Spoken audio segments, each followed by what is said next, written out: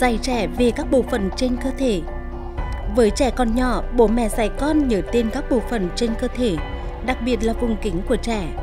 Khi trẻ lớn hơn, bố mẹ hướng dẫn trẻ bảo vệ khu vực này cũng như cách vệ sinh cá nhân.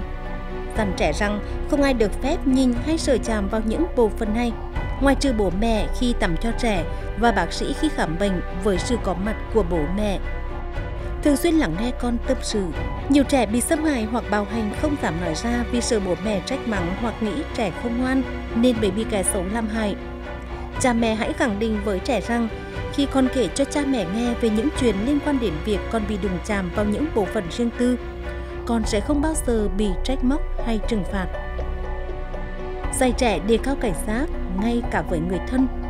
Bất cứ ai cũng có thể là kẻ xấu kể cả người thân Do đó trẻ cần cảnh giác với những người có hành vi không đứng đắn và không tôn trọng con.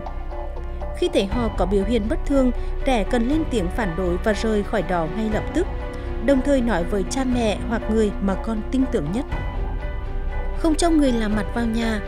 Khi trẻ ở nhà một mình, cần dạy trẻ tuyệt đối không được cho bất kỳ người làm mặt nào vào nhà. Cũng nên chú ý không cho trẻ đi chơi một mình, dù chỉ là sang nhà hàng xóm hay đến nhà người quen mà không có sự theo dõi của bố mẹ.